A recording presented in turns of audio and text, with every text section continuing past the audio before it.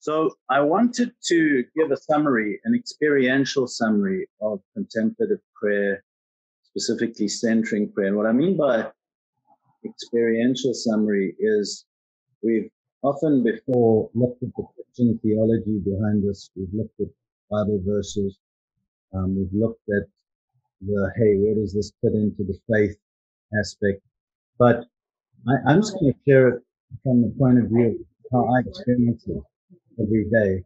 Um, and hopefully that's a blessing to you guys.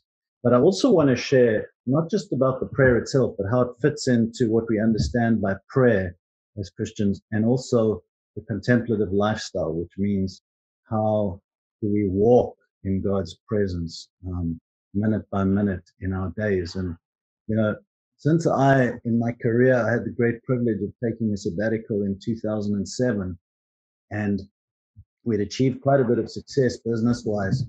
And, you know, I, I, noticed on my sabbatical that that success didn't make me any happier. Uh, the wealth it brought didn't make me any better. Um, and I decided back then in 2007 that my life's dream is to find a way of living in God's presence, living in this heavenly realm on this earth. And I really think this contemplative prayer is the key to it. So that's what I want to briefly talk about now. Um, so let's look at the practice first. The practice of centering prayer begins like this. Um, uh, twice a day, for a minimum of 20 minutes is the recommendation you do the following. And and I'll just pause there and say, you might say, oh, boy, I don't have 20 minutes. Um, 20 minutes is such a long time. Um, anything is helpful. My little 15 year old, actually, he's not that little anymore. He comes up and he asks to join me, and he joins for 10 minutes. And that's certainly very helpful. But I think the analogy is like this when you are doing two times 20 minutes, you're digging a well.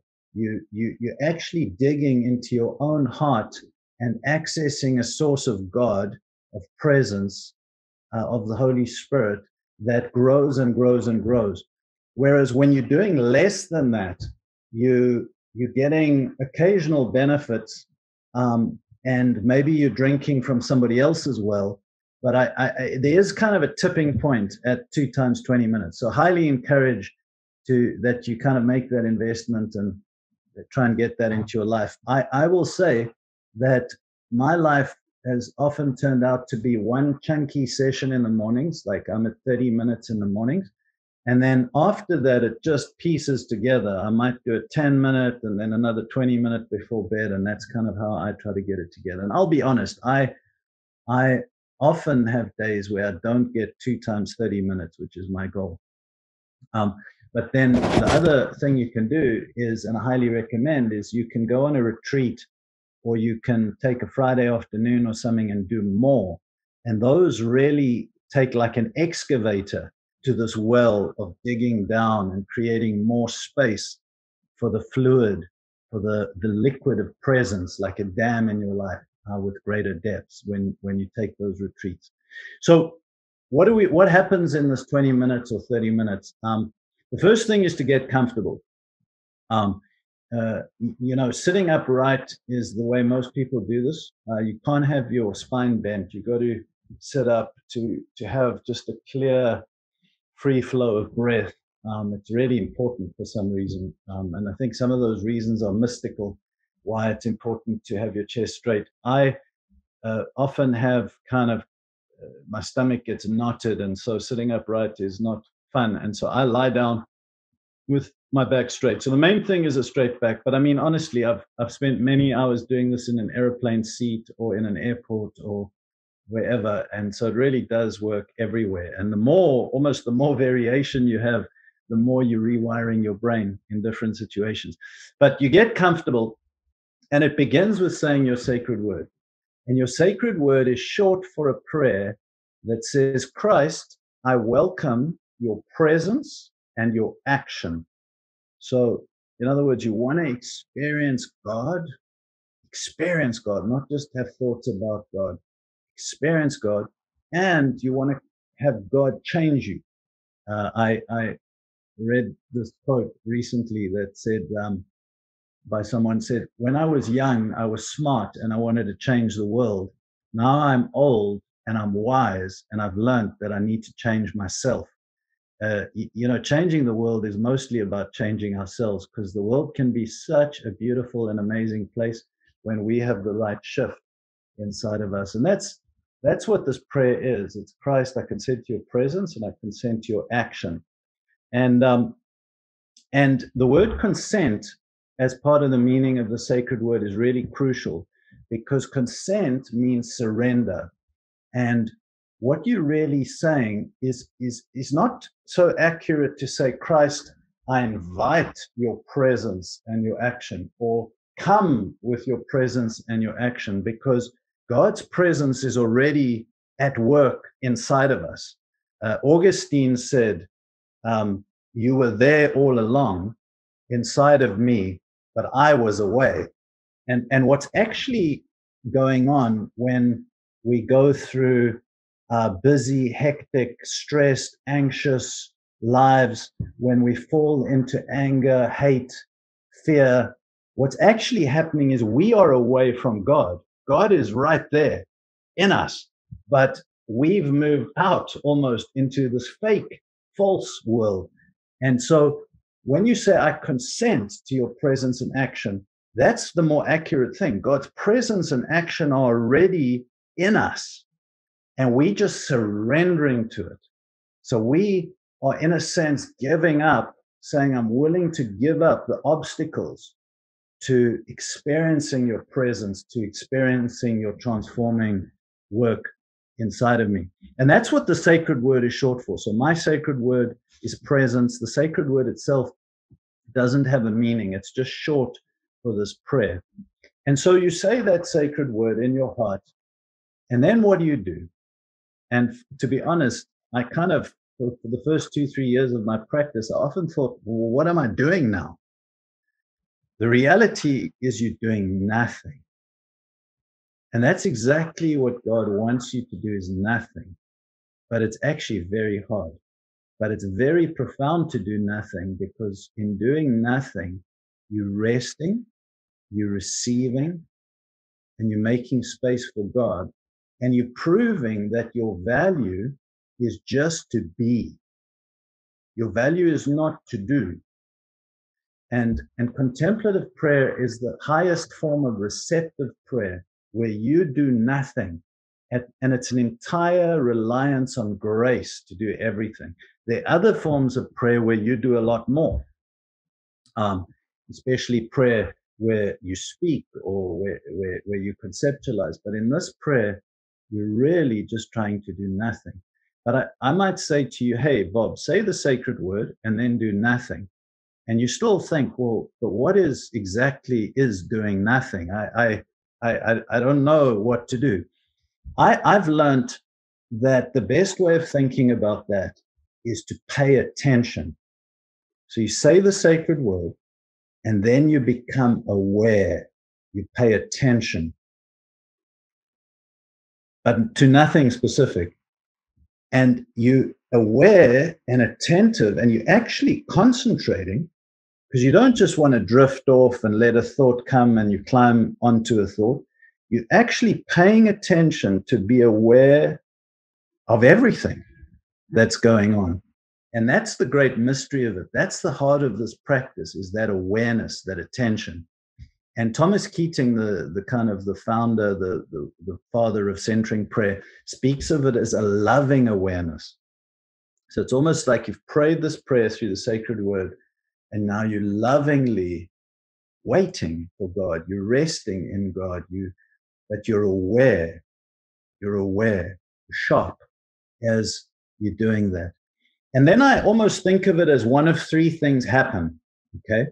And let's go through each of those three things. Again, this is experiential, and maybe this doesn't seem to be so for you or for others, but in my experience now, kind of coming up for six years on this, um, one of three things happen when I've said the sacred word and I've become aware. The first thing that might happen is that I might, my awareness might get carried away by thoughts. Uh, particularly juicy thoughts, compelling thoughts. So lately for me, it's been about the soccer game that I played recently and how I almost scored a goal or how I failed to make a good pass or you, you know for somehow for me soccer is a bit like being out hunting and and it's just gripping and so I'm there praying and the soccer game's going but that seems a bit innocuous most of the time the thoughts that grab you are linked to your brokenness. They've linked to your false self. So for example if your false self really needs uh, the affection and attention of other people then a distracting thought that will come up is a recent event when you might have failed in getting the attention and, and affirmation of people, or when you successfully did, or some plan to get the affirmation uh, of someone. Again, if that's your false self, or if your false self is an unhealthy need for control, often it's some thought process linked to how am I going to get more control that takes over your thinking. So that's the first thing that can happen as you've said the sacred word and as you've waited there is something else grabs your attention. So what do you do? Well, I think you know the answer is you return to the sacred word. You return to God. It's a great blessing. And the spiritual muscle, every time the spiritual muscle lets go of something, lets go of that thought and returns to God, it's a powerful act that strengthens your devotion to God. And so you say the sacred word again and you return. And it's a good thing, not a bad thing. If that happens a thousand times in the prayer, then you've worked out that muscle a thousand times. And so, you, you know, don't say, oh, I'm terrible at this. No, you've just done a hundred, a thousand push ups, spiritually speaking. Um, but, uh, but I want to emphasize two things that really work here when you return, when you've been carried away and you return. And that is say your sacred word gently and say it slowly. Again, you're doing this in your heart, you're not doing it with your mouth, but do it gently and do it slowly. And let me explain. By gently, I mean don't beat yourself up. Don't try, don't get frustrated. Just be kind to yourself. Um, if you beat yourself up and get frustrated, you actually take one step even further away from God's presence. Whereas if you just gently accept, ah, oh, I'm growing and God's patient with me, and you say it gently, uh, Thomas Keating says it's like it's like placing a feather on a piece of cotton wool. If you can do it so gently, so gently return to God, it, it, it, it optimizes your spiritual condition as opposed to getting angry ah and then you know it's almost like by doing that you've you've you've jumped right into the middle of the highway almost got knocked over by a car called frustration and then try to get back on the side of the highway and and and and and and get back into meditation so don't do it with frustration and anger um, and then the second thing is slowly this is a great secret because sometimes what happens is we get carried away by a thought and we're drifting off thinking about the soccer game. And something flashes in our mind that, hey, I'm carried away. And it's almost like you half say the sacred word. It's just like presence. That's my sacred word, presence. But you haven't actually let go of that thought about the soccer. And so think about yourself more as taking five, ten seconds even to say, wait, wait, wait, wait. I want to think about soccer. Say my sacred word. And, and, and there's a kind of a focus with which you choose God again, which the meaning of the sacred word comes from your heart. So it's not just a quick thought of the sacred word, oh, but then you're still thinking about soccer, if you know what I mean. So slowly and gently. And um, and so that's the first thing that can happen. Your attention can be carried away. And, and that is the thing that will happen most of the time, um, at least for as long as you get up to my level, because I can't speak for levels beyond that. The second thing that can happen, and this is a beautiful, beautiful thing, is that you can have a continuous time 15 seconds, 30 seconds, one minute, two minutes, and your desire should be for this to be as long as possible, where you just remain aware and you don't allow thoughts to carry you away. And that, friends, is eternity. That is a place of God's presence. And it might happen within 10 seconds, it might happen within two minutes, but a joy, a peace, a warmth, a love. I want to say rises up, but that's the wrong word. It's already there in your spirit because God's already there with all of his love, all of his joy, all of his peace. But you become tuned into it. So after a time of just being aware, it's almost like God begins to saturate the, the pores of your inner man and your awareness of that increases.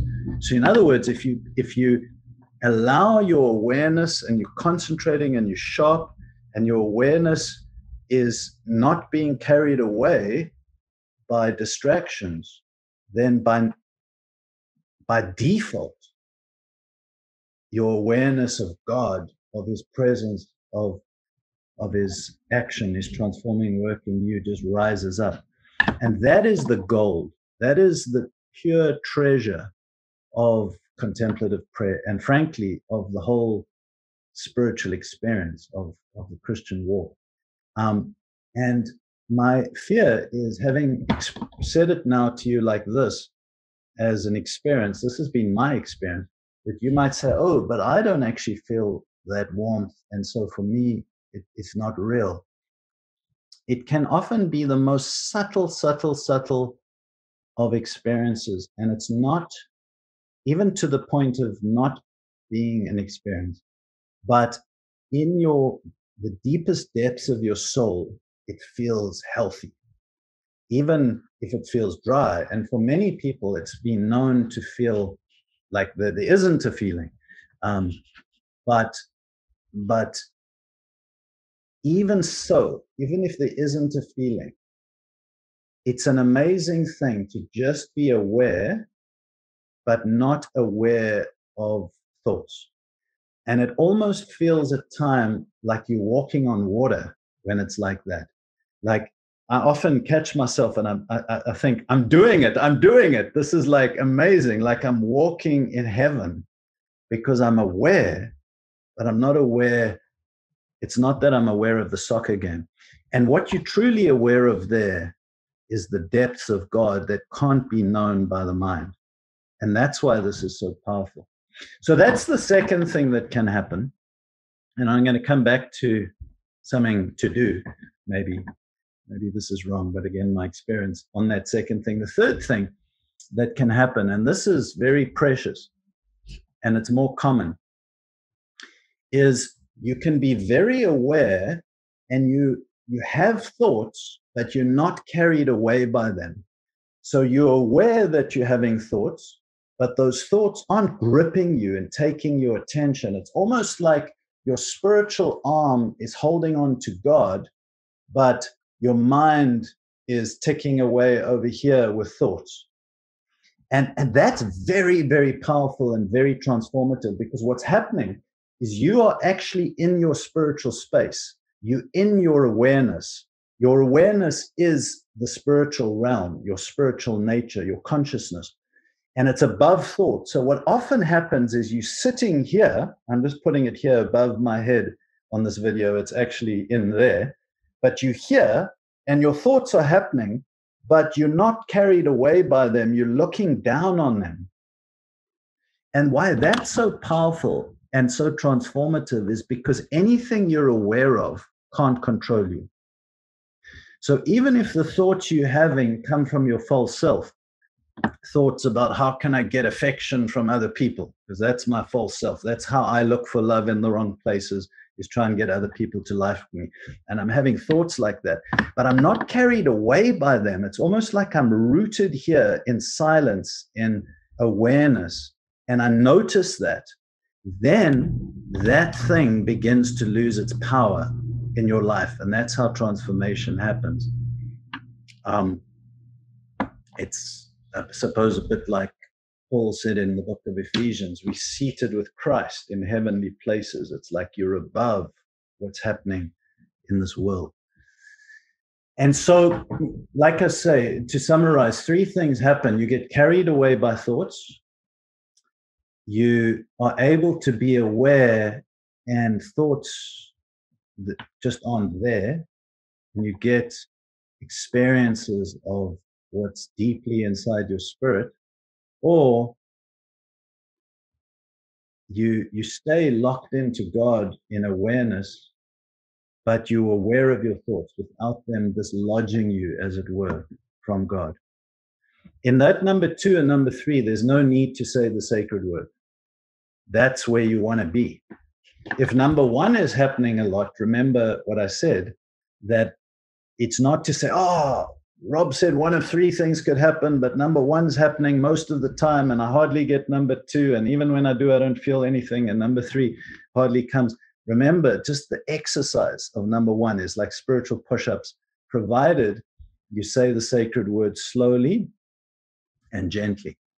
And so, folks, that's the practice. Uh, what I'll add to that is as you end, don't jump up from your chair. Um, that's why I have the three gongs, you know, and I let I, I, try to discipline myself to allow the whole three gongs, which is probably about a minute, minute and a half to finish before I jump up. And, and there's something about the transition from the prayer time to normal life where you kind of carry it with you, where it's very good to try to uh, not hasten that.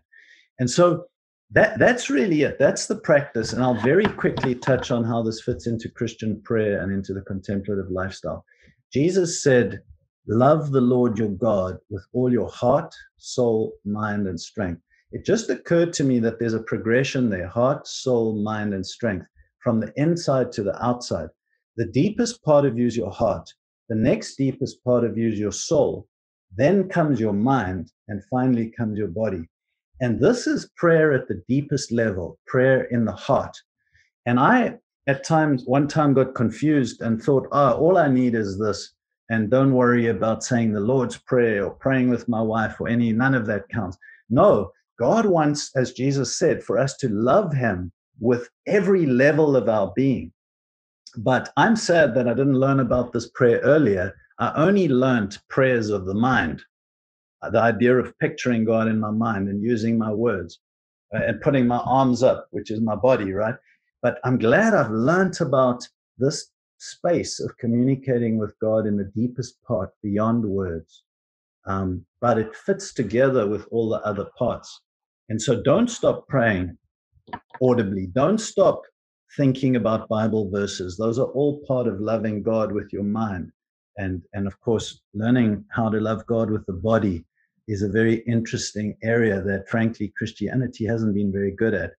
Um, and we, we're learning uh, and we're exploring that. And then finally, I'll just say if you're doing the centering prayer, then there's a few other practices that uh, I'll just mention two of them that help to make this a powerful thing in your whole life. The first is when you do this, it's best in for the morning session, it's best to not have done a ton of business first. The perfect day is a day when you wake up, you don't pick up your cell phone and read the news and check your texts.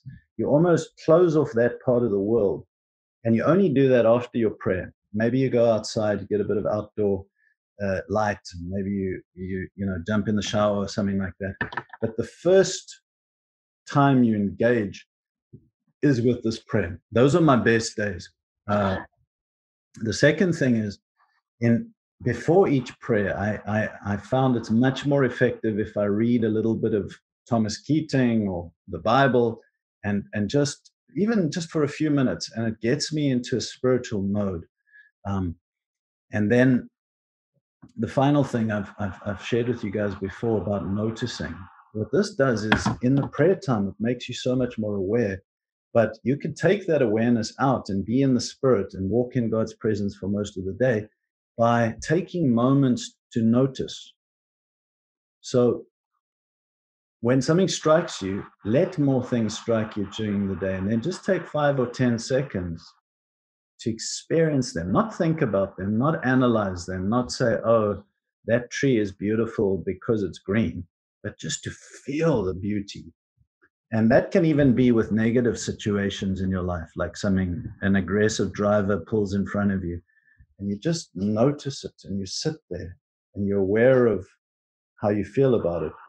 And those t- that that that little practice is very powerful. So, folks, that's it. That's kind of everything I've learned over six years about the thing, and it's very, very transformative.